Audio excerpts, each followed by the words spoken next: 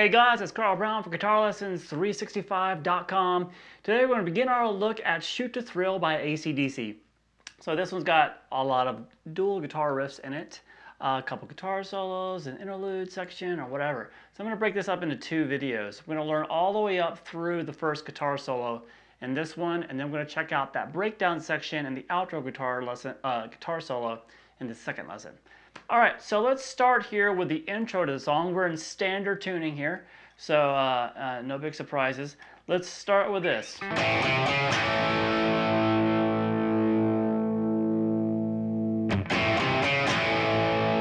All right, so that's Angus's part that starts the song. So that's an A power chord. Open A string, second fret on the D and the G. Have this. Then you're gonna pick the D string and the G, A string together, and you're going to add the third fret there on the A string. So it's third fret on the A, second on the D together. Then fourth fret on the A, back to the A power chord. So we have this.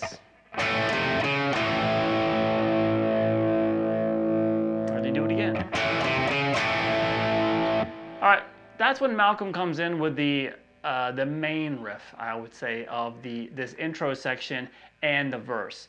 The the way they play it in the intro section is just slightly different than he plays it in the verse, but it's it's definitely the most important riff of the song. So it sounds like this.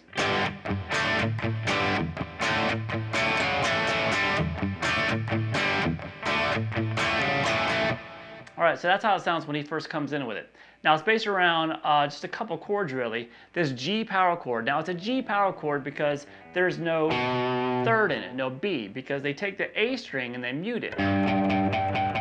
So that's not being heard, and we just had the open D, open G, and the third fret on the B and the high E together. So let's just get these chords down. That's the that chord, and then the D power chord uh, which basically means it's a D major chord, but you don't have the top note on it. And they have the A in the bass of that D as well.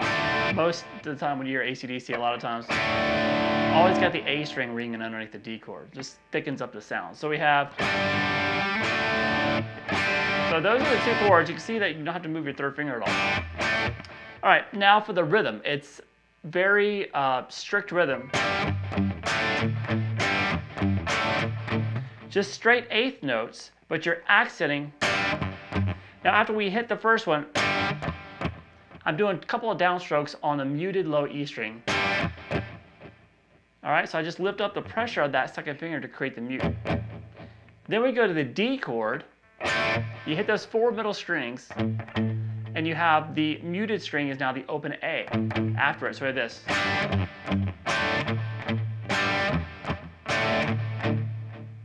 Time.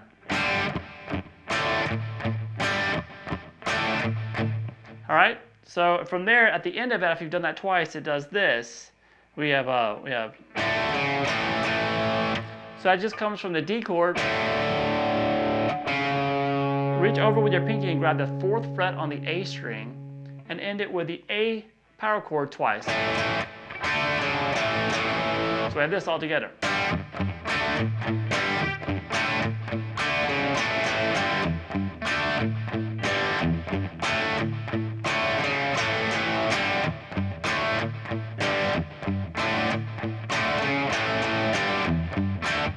All right, so that is also the verse riff, um, but the only difference is at the end, instead of hitting that A power chord twice, you hit it once and let it ring. So it sounds like this.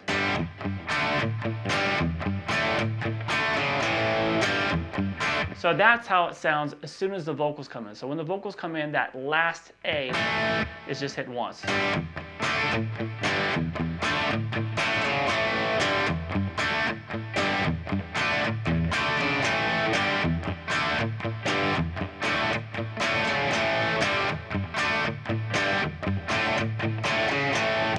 From there we go to the pre-chorus. Sounds like this.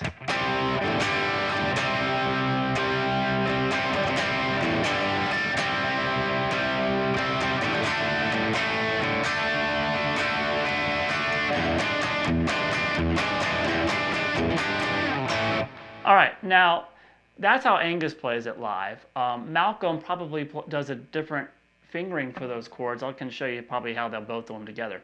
So uh, the way Angus plays it, it's just a C power chord here off the third fret, off the A string.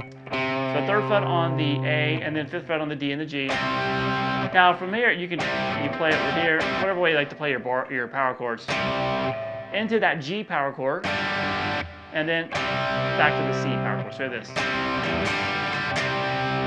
that again. Then we go to a D major chord, to an A power chord, back to the uh, D major. Now when you get that D major, once again, the A's in the bass. All right, from there, it goes up to the old Hendrix chord here.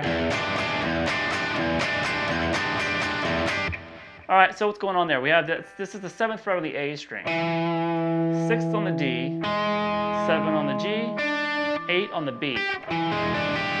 All right, so you have those and you hit the low E and then hit the chord twice, or this. So he keeps going back and hitting that low E every two hits.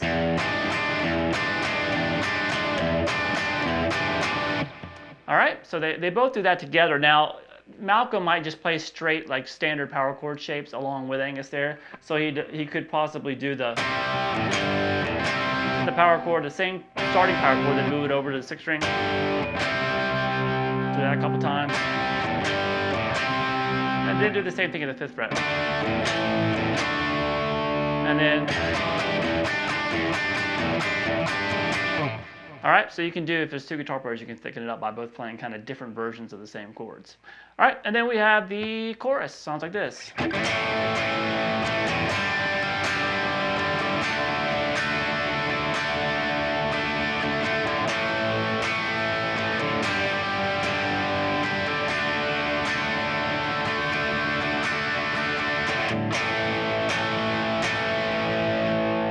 All right, so what we're gonna be doing here is just the A, really A power chord mostly, to that G power chord, to the D major chord. Now, if you hit the major third in there, they do that as well. So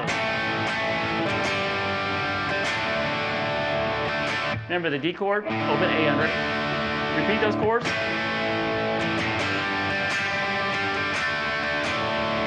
Now for this first chorus, you just go through those three chords twice. And then it goes kind of back to the intro riff, except you hit the A power chord three times. And then, and then you do that same thing that we did at the beginning. And that takes you back around to the, the verse again. So you go back through uh, the same um, verse, pre-chorus, and chorus again. Um, and then we get to the solo section, um, the first solo. I'm gonna, gonna start it when they start kind of jamming out, the, what you probably call the interlude section. Sounds like this.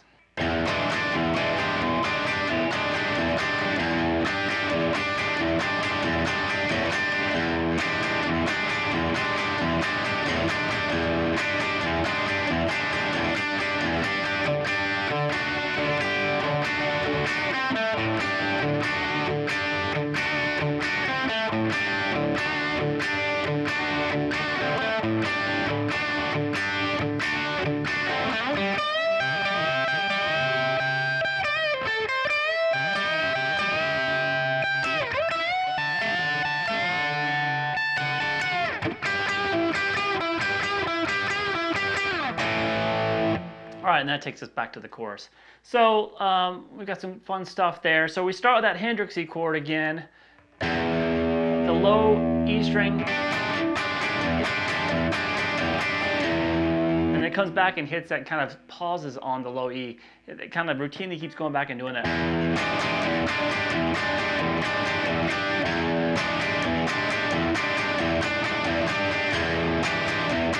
So if you know the song, you probably know the rhythm sounds like. It's, it's better just kind of hear it and mimic it.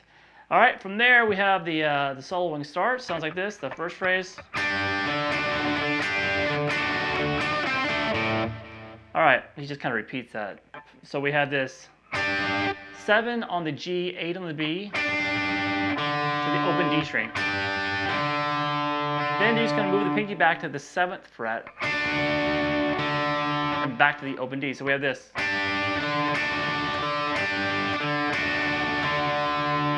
From there,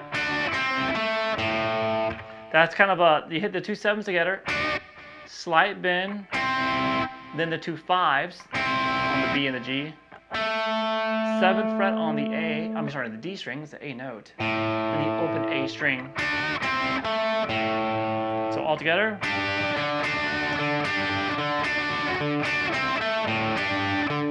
Repeat.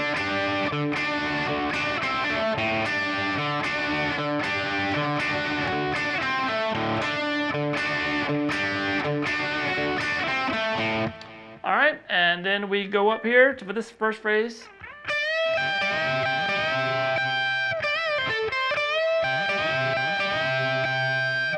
All right, pretty simple stuff uh, for Angus Young at least. So we're gonna have a bend at the 15th fret on the uh, B string. As you do that whole step bend, grab the 15th fret on the high E. Do it three times there. And then, then that's just releasing the bend, pull off to 13 to 14 on the G, back to 13. And then do the three bends with the adding the 15th fret on the high E string three more times. So that's all together.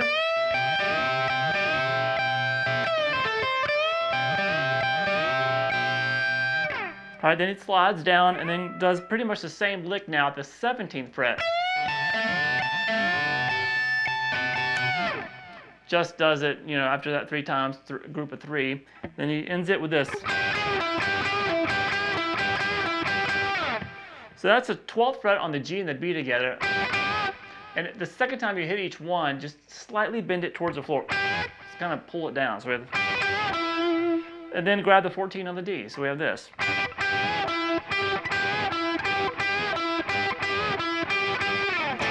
That just takes you down to the chorus.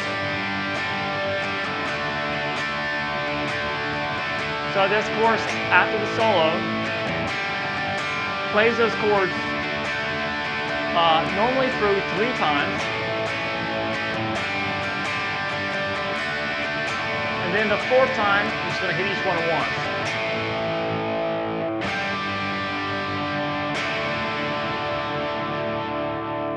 And from there we get to the breakdown section and that's pretty involved and also the outro guitar solo. So we're going to take, care look, take a look at those two um, in the next video. I'll see you then.